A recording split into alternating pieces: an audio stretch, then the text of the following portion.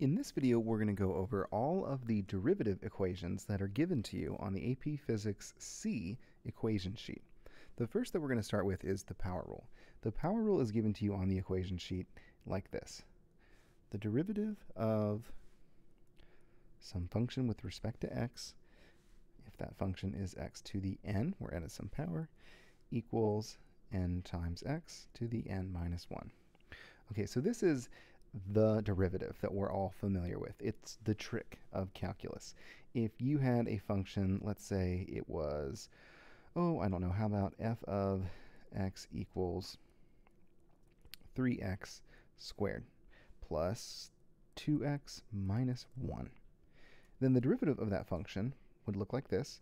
You would write df dx you could write df of x if you want, um, but df over dx equals, and then you take this 2, multiply it by 3. Um, so that's the that's called the, the constant rule. Um, whatever. So 2 times 3 is 6, and then you reduce the exponent by 1. So instead of x squared, now it's just x. Same thing with the second term. You have 2x, and that becomes 2. Um, and then the minus 1 just becomes nothing. It goes away. So this is the power rule. If you ever forget the power rule, it is on your AP Physics C equation sheet, which is really nice. Okay, let's do the next one. The chain rule. So the chain rule is kind of weird, um, and it has some very, very grand applications in calculus. But on the AP Physics test, it's really only used for a couple of things. Um, it's written like this. df of dx, so the derivative of some function with respect to x, is equal to the derivative of some function with respect to u times the derivative of some function, I'm sorry, of that function, u, with respect to x. The idea being that these du's can cancel out and give you df over dx. Um, so let's, let's do an example of this. Let's say you had some function f of x equals 3 times x squared plus 1, the whole thing squared. Now, you could just sort of simplify this expression and then take the derivative. So that would be, what, 3 times x to the fourth plus 2x squared plus 1. And then 3x to the fourth plus 4x. Um, don't know where I got that 4. Sorry, 6 x squared plus 3. Okay, then you could take the derivative. The derivative of f with respect to x is 4 times 3 is 12. Uh, and then that becomes a cube instead of 4. And then 6 times 2 is also 12, and that just becomes x, and the derivative of 3 is 0. Okay. Another way of doing this is by saying, well, what if we wrote the function as 3 times u squared. And then u I wrote as x squared plus 1. Okay, well, I can take the derivative of f with respect to u. It would just be 3u squared, right? And you take that derivative, so 2 times 3 is 6. And then u squared would just be u. So that's the derivative of f with respect to u. Then I can also take the derivative of u with respect to x. So that would be 2x, and then the plus 1 just becomes nothing. Okay, so this is the derivative of f with respect to u and the derivative of u with respect to x. So now I think about this equation right here. If I multiply the two, then what I'm going to get is df over dx. So if I wanted to find the derivative of f with respect to x, I could take 6u and multiply it by 2x. Now I would immediately simplify that to 12x times u, and then I can plug in u, which is x squared plus 1. And if I wanted to simplify that, it would be 12x cubed plus 12x, which is exactly what we got before. Um, so again, what we're doing is we're taking these two derivatives, multiplying them together, and we're looking at the way the derivative is written as differentials. Those are called differentials. And basically, the du's cancel out to give you df over dx. Now, this might not seem like we've saved a lot of time by using this trick, uh, but let's say we had some function um, that was much larger. So let's call this one y. Let's call this one y. Say it was y equals x squared minus 2x to the fifth. I really, really don't want to factor all of that out and then take the derivative. Um, so instead what I could do is I could say, well, what if y equals u to the fifth and u is x squared minus 2x.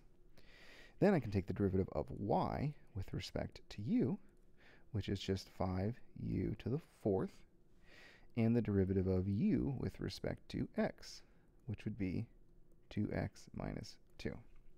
Now, if I want to find the derivative of y with respect to x, I just take the derivative of y with respect to u, multiply it by the derivative of u with respect to x. Those will cancel out and give me my answer. So 5 u to the fourth times 2x minus 2. Um, and then I could do some simplifying if I wanted. I mean, it's pretty obvious, but at this point, more than likely what I would do is I would just say 5 and then plug in u, x squared minus 2x to the fourth times 2x minus 2. I could simplify that, um, but you know, for the AP test, they do not require you to simplify things, and if they had you have some crazy derivative like this, they would totally accept your answer written in a long form this way. So anyway, um, that's how you use the chain rule.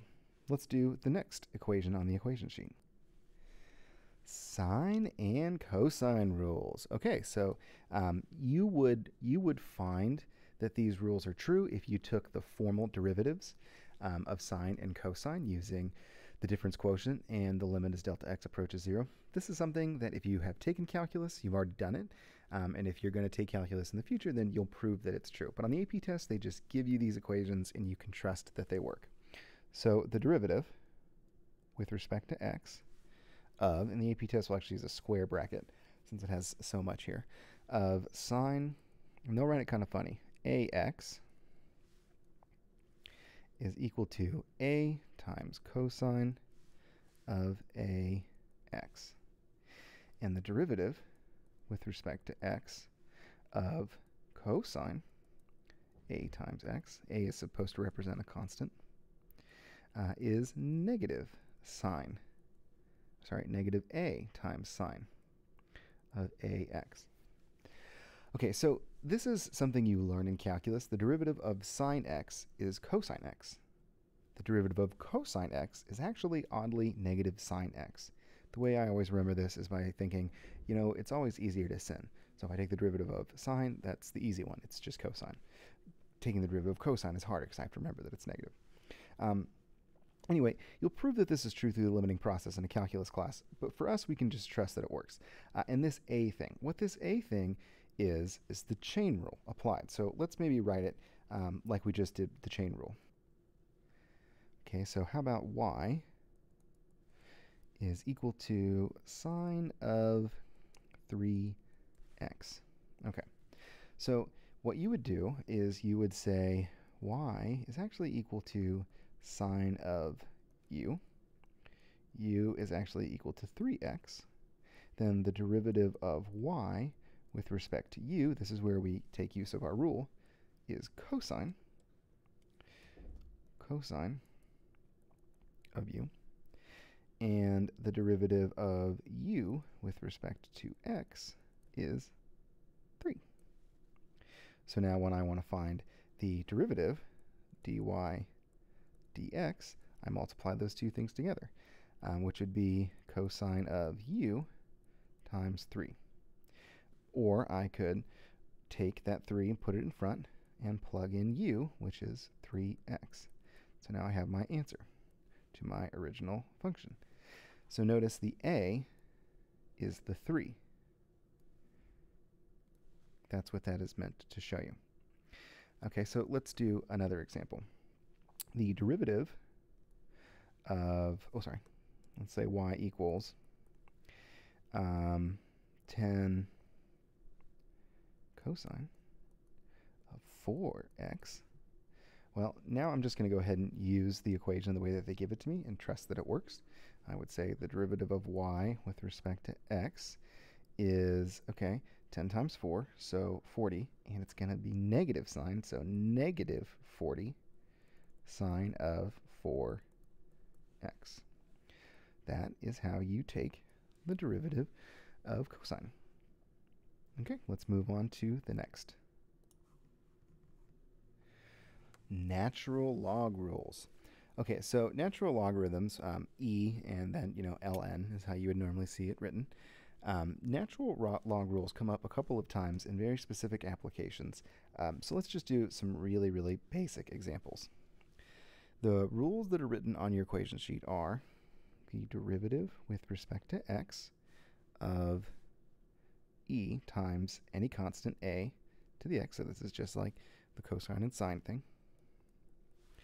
is equal to a times e to the a x and the derivative with respect to x of the natural log of any function with some constant a times x is equal to 1 over x. The a disappears. That's it. So again, you will learn why this is true in a calculus class, or maybe you already have, um, by using the difference quotient and the limiting process and a whole lot of algebra. Uh, but for our purposes, we just need to trust that these work. Um, so let's do an example. Let's say your equation f of x is, oh, I don't know, 2e to the 10x. The way that you would take the derivative of this, df of dx, is you would bring down the 10 to the front, multiply it by 2, so 20 e to the 10x it just stays the same. For the natural log, um, let's say your function was ln of 300,000 times x, the derivative is 1 over x. wow. Um, these, these take place in um, certain problems related to drag force. Uh, and, and they're very small parts in much larger problems. The drag force problem, um, it's a real drag, and it is maybe the hardest thing that you can be asked to do on the AP Physics C uh, mechanics test. In the electricity and magnetism test, uh, it is also used quite, quite a bit often. But anyway, these are how you use the natural log tricks on the back of your equation sheet.